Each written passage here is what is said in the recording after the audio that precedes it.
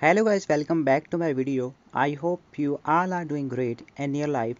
So guys, as you all know that who is Engin Akyurek? And if you don't know about him, then let me tell who is he. Engin Akyurek is Turkish most handsome and talented actor. And he has his huge fan following in almost every country. And in this video, I am going to tell that how he is competing with Hollywood actors in many European and American countries. But before starting the video, if you have not subscribed to my YouTube channel, then please do subscribe to my YouTube channel to get more updates and news about Turkish celebrities. So let's start the video. He has his huge fan community in almost every corner of world.